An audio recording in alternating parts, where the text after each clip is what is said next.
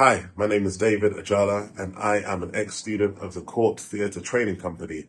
I enrolled onto the two-year BA Honours Accelerated degree many years ago, early on in my career, and I'm definitely an individual who has benefited from the training that I received at that school.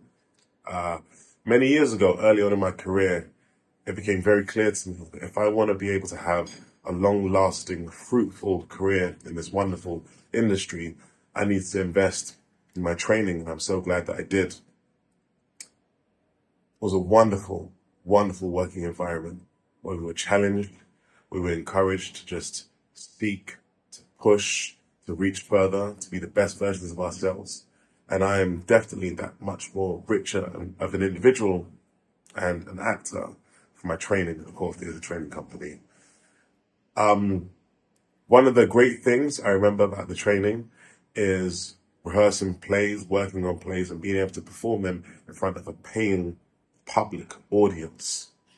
So all the things that we learned in classes, we now had a platform to be able to show and experiment with these skills and just really get used to our instrument as actors. And it's something that's definitely I found not only beneficial, but made me really, really excited to branch out drama school and start working in a professional um, environment.